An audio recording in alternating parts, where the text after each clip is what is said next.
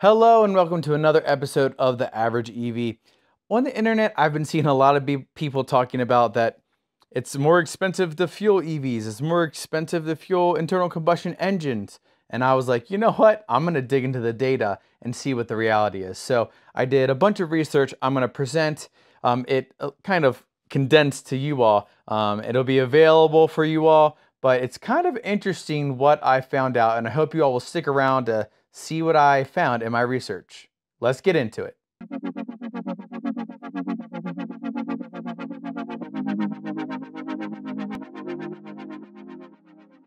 All right, everybody. So, like I said before, um, I've seen a lot of conjecture, and I just want to see what does the data really tell us. Um, before I dig into the data and show you everything, I wanted to bring up a couple cave caveats. So, first things first, I had to decide where I was going to pull all the data from, and so I pulled the data from uh, fueleconomy.gov. So this is all the EPA estimates and everything like that. Um, so you can agree or disagree with that. I acknowledge that some things might be a little bit um, rosy-eyed when it's presented to the EPA. Some things actually might be lower than reality. So hopefully that all kind of um, you know levels it out. I know it won't, but um, it's what I've got to work with. Second, um, as far as fuel prices is concerned, I basically was able to do like different groupings. So I did like 250, 350, 450 for um, gas, and then I did at the time I did the research, the national average for gas prices was $3.11. And then for the EVs, I just did the um, Electrify America standard rate, the Electrify America um, member rate, and then I did some like higher end that I've seen on Tesla and Electrify America and EVgo, and then maybe a lower end. And then lastly, I did the average electricity rate at home for the United States. So again, for some people, it might be lower. Like for me, I'm 10 cents lower than the national average. And if you're living in California, it might be like 20, 30 cents higher. So obviously, um, as you're looking at the information and data I'm presenting, you're gonna have to know where do I fit in that range of pricing um, because it is gonna be different for everyone based on where you live. And lastly, the sample sizes for the internal combustion engine are much bigger um, than and thorough than the EV. For the EV, there aren't as many EVs out there, so it's harder to balance different categories. So, for example, for full-size SUV and mid-size SUV, based on my research, I may have missed a couple, um, but you know, there's only one that I could find of each. Um, and some people might argue whether they even belong in the category or not, but I just did based on what the manufacturer said, what EPA said, and that's what I went off of.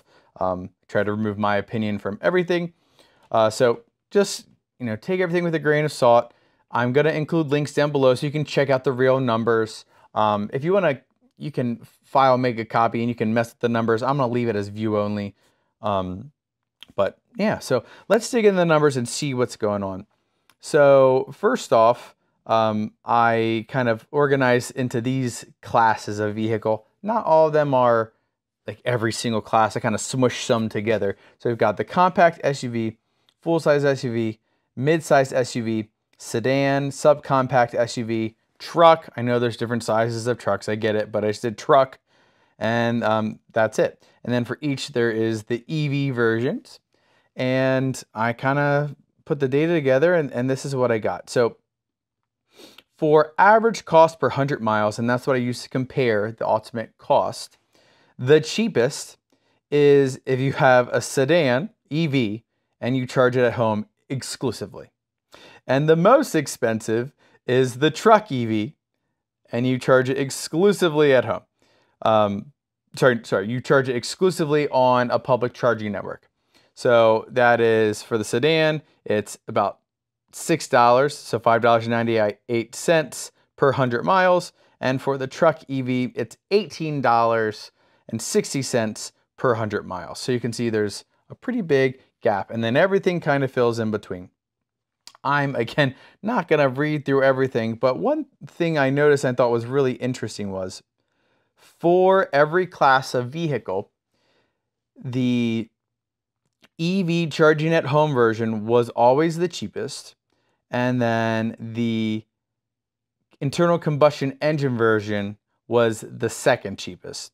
And then the most expensive was always the EV charging um, out at a public network. Um, which honestly, to me, based on my experience, sounds about right. And I haven't driven internal combustion engine for a while, but the thing is, you get a lot more range with the internal combustion engine. So I, all this completely makes sense to me.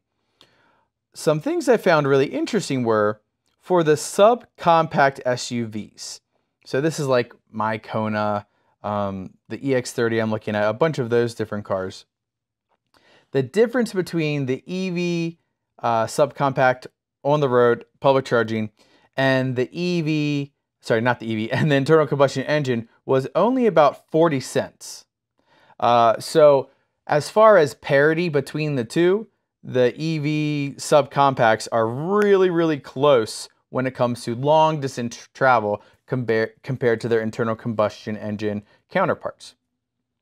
Now, what do I glean from this? Well, pretty much if you're someone and all you do is commute and you go home and you um, charge, or maybe even you have some level two charging that's pretty similar in pricing to um, home rates, that's going to be the best option, um, except for one. Uh, yeah, that's going to be the best option. Um, having an EV. So if that's your case, go for it. Do it. And then if you want to do the occasional road trip, just know you're probably going to pay more than would have cost to have an internal, internal combustion engine, but that's all right. Now, if you're someone and you travel long distances, well, then clearly an internal combustion engine vehicle um, is going to be more affordable as far as that's concerned. Specifically, hybrid um, internal, uh, hybrid electric vehicles, which ha also have an internal combustion engine still. Um, those I found in my research were the most um, cost effective for long distance travel. Um, and again, you can look through all the charts and, and whatnot, but they always kind uh, tended to come out on top. And I had actually done some research a little bit different than this, maybe like a year or so ago, and I found the same result that the hybrids actually were most effective for long distance travel because you can't plug a hybrid in at home. You, get it. Um, so, yeah, that like that's it. That's the reality. Um, and it's unfortunate, and it just is what it is. So, before I get into my final thoughts, I did want to talk about something interesting that I also found and I'm uh, forgive me because I'm going to look down to reference um, my compute my computer.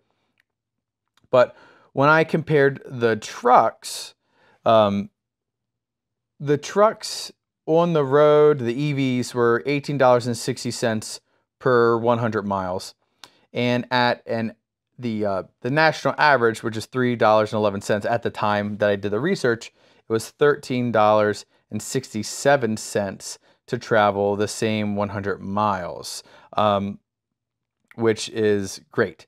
Now, when you dig a little bit deeper and you look at the different vehicles I picked, and maybe this wasn't the best sample size, um, but the only ones I really had were Lightning, R1T, and then I did throw the Hummer EV. You could say I probably shouldn't have put it in there, but it's technically a truck.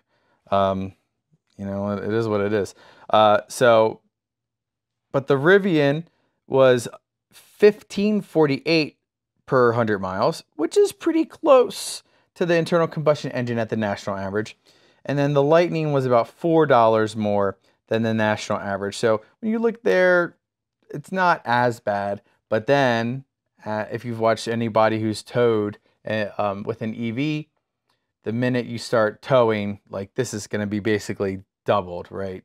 Um, because most of the most of, most of the ranges pr pretty much get cut in half when you start towing, if not more. So if you want a truck, um, if you're going to use it for towing, probably not the best option right now. They need to start. Um, they need to create more efficient um, motors um, in combination with towing to kind of make it a little bit more realistic. Um, so if you're purely looking at I want an EV and I want to spend less money, well, for a truck, probably doesn't make sense to go EV yet. So that's all my data. Again, I don't I could go through all these tables and charts and I didn't want to do that for you all. Please look through them. Leave comments. I know some people are going to disagree with some stuff, but in general, I feel like I made um, pretty good decisions when I was kind of deciding everything um, about this. So with this data, what does it really mean?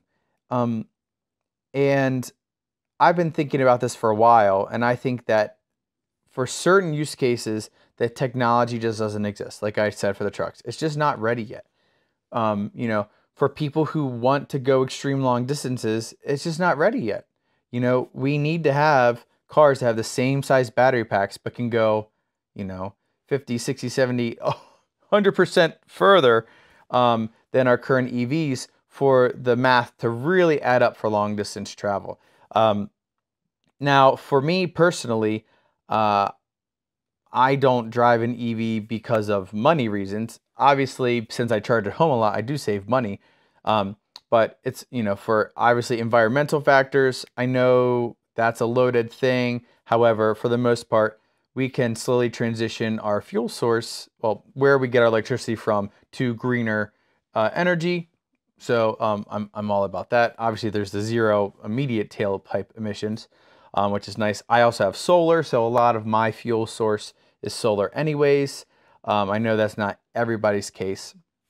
Additionally, I just find EVs to be a much more comfortable ride. Um, you know, don't you don't smell the gas, uh, you don't feel the car rumble, and you know, I just can't ever see myself going back to an internal combustion engine car. In fact, when my Kona got totaled, I was like losing my mind in the uh, what did I have? A Mitsubishi, some Mitsubishi um, SUV, and I just wanted out immediately. So I don't know. I, I think this is interesting. I I don't want to say I'm like a little depressed, but it's just I I wish it was like better to tell everybody that yeah you can travel long distances and it's cheaper, uh, but it, it's it's just really not there yet, um, unfortunately. So that's it. That's all I really have to say. This is like it's a loaded question. It's cheaper at home for EVs, more expensive on the road. That's just what it is. So again, I'd love to hear your thoughts. Please leave them down below. Um, and if you want me to add any other vehicles, I can add them um, into the spreadsheets to kind of change the numbers a little bit. I I did go through every EV listed, so I think I got all the big ones. Um, but if I miss any, let me know and I'll put them down. So, yeah, that's it. Thanks again for watching. I hope you um, enjoyed this video. I hope you found it informative. If you did, please remember to give a like and a subscribe, hit the notification bell, heck, even share the video, and I will catch you all next time.